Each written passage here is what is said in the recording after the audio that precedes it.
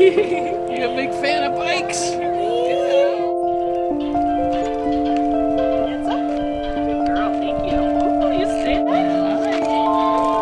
I'm baby girl. Do you want to do Patty? Uh, I'm here from Oh. Pulling. Nice job, Brady.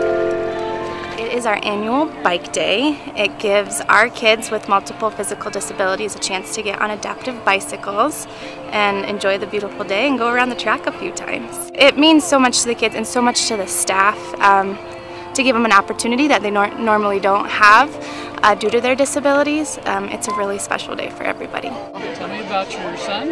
Uh, his name's Jaden. He's in third grade and he has Dandy Walker syndrome. I love Bike Day. It's my favorite day of the year.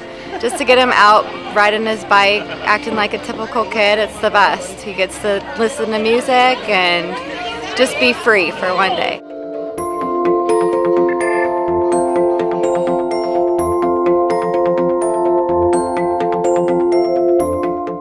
These kids are wonderful and to have the opportunity to see them smile and experience things that they don't normally get to do on a daily basis is heartwarming. I love it so much. Fletcher Miller is a wonderful school, it's a wonderful community, and these kids deserve it. They deserve these opportunities, and they are just wonderful to be around.